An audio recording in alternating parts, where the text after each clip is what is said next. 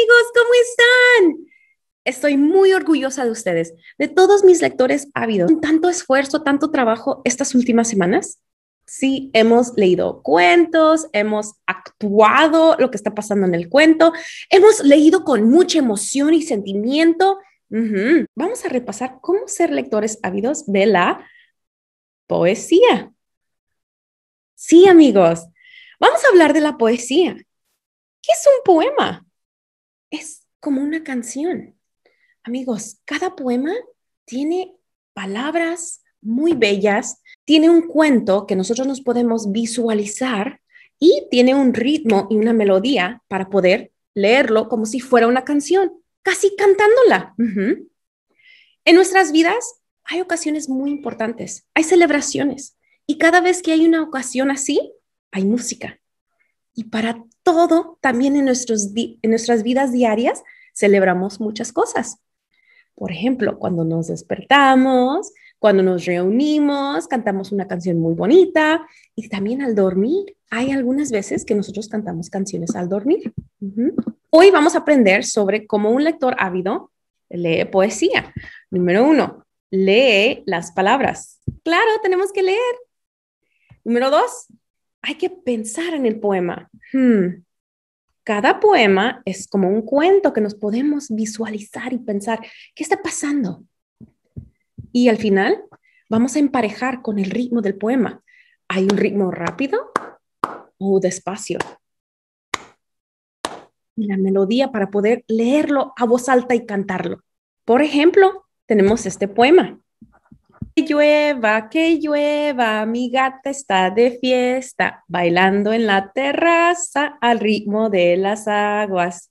Que llueva, que llueva.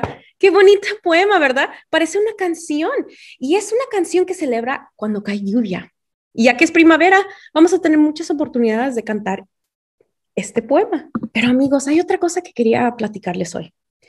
Un poema, aparte del ritmo y la melodía, también tiene sentimiento. No todos los poemas se cantan igual, con el mismo sentimiento. Por ejemplo, el sentimiento de que llueva, que llueva, es de alegría, de emoción. Qué bueno que está lloviendo, estamos recibiendo esa lluvia con mucha alegría. Pero hay otro poema que no se lee así. Al contrario, se lee en una voz muy baja, casi en susurro, y se lee muy suavecitamente con una emoción muy suave, muy dulce, para poder dormir al bebé. La de estrellita. ¿Sí conocen esa? Vamos. Estrellita, ¿dónde estás? Me pregunto qué serás.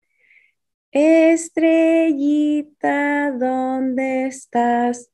Esta noche allí estarás, cual diamante brillarás. Me pregunto qué serás.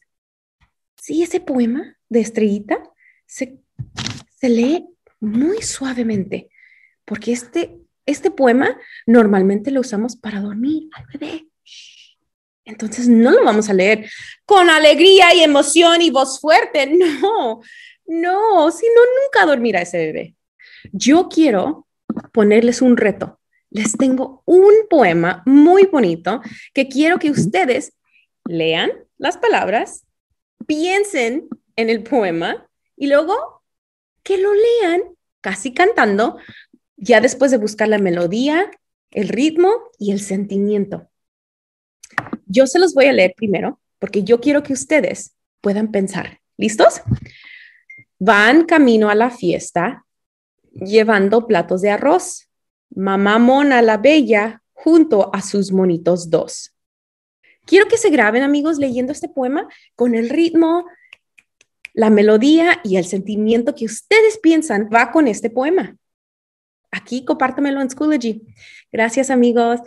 Los extrañé mucho. Mis amigos en Denton Creek y en Wilson, los quiero mucho. Bye.